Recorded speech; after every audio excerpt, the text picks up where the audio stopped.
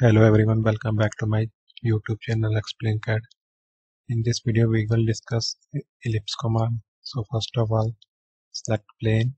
So, so I select top plane now. Sketch normal. From here we can select ellipse command. First is ellipse, second is partial ellipse, third is parabola and fourth one is conic. So first of all select ellipse first point, select second point and third point. Right click, select OK. Go to smart dimension. This point to this point 70 mm. This point to this point keep it 20 mm.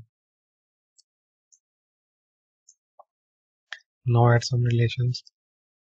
Select this point. This press control E. Select this point.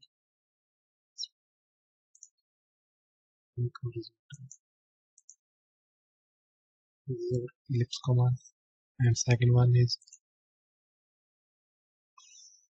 partial ellipse. Select partial ellipse.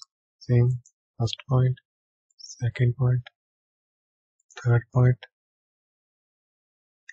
Drag the mouse toward this point. And just click here. Right click select smart dimension this point to this point. Keep it 50 mm this point to this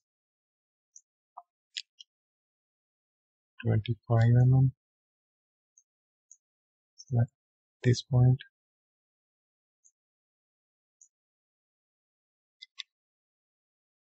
Control. Press control. Select this point. So select this point. And this point. Make horizontal so here select this point this point. This point. To the so this is our partial ellipse. third one is parabola. First point. Second point. And drag cursor about this point. Right click select. Smart dimension here to here 60 mm right click select option. Now select these points. Horizontal select this point.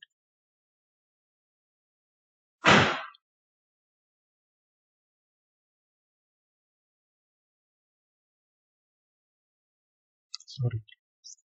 Select this point and this point smart dimension 15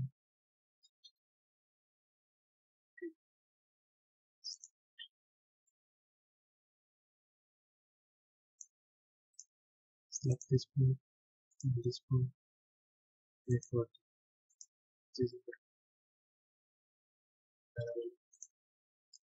parabola and fourth one is conic so first one second one third one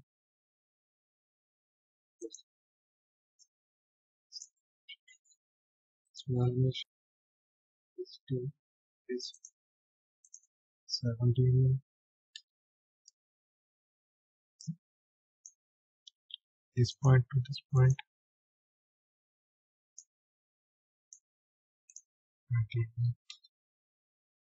Right click select option now add some relation. Select this point. This point.